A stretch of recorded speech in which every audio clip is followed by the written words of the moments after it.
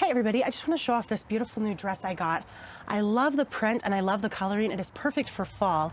It's kind of this tan with black flowers on it and it's a really pretty print. Some of my favorite things about it are the sleeve. I really love how the sleeve comes all the way up onto the shoulder and you don't have to, I, I do not have to worry about it falling off my shoulder at all. It is really nice and snug up there. And then it does come all the way down. It's not a three quarter, it's not a full length, but it just hits it right at that nice spot. I also love that it is a full bust. It comes all the way down and covers the entire bust. So this ribbed part right here does cover the entire chest. That is a really big deal. It doesn't ride up and it's also not too low. So it really fits really well in this area right here.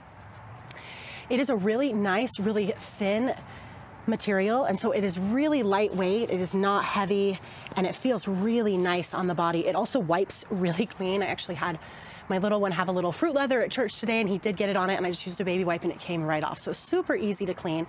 It is also full length.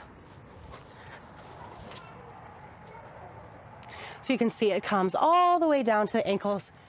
And so it just has full coverage. I like that it just hugs the body really well. It comes down, but also has a little bit of movement to it. So it is really pretty. It is a really complimentary dress and it also has a really pretty print. It comes in several prints. This was my favorite. I really liked it for the season that I'm in, but it is just so, so comfy, so well fitted, fits in all the right spaces, doesn't ride up, and it just flows really, really well. I absolutely love it.